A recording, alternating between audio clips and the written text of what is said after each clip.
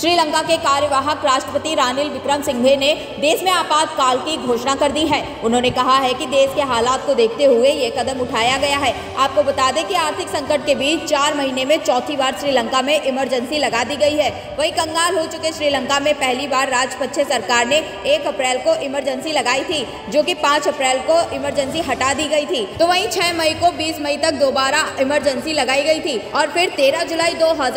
को तीसरी बार इमरजेंसी घोषित की गई ब्यूरो रिपोर्ट आई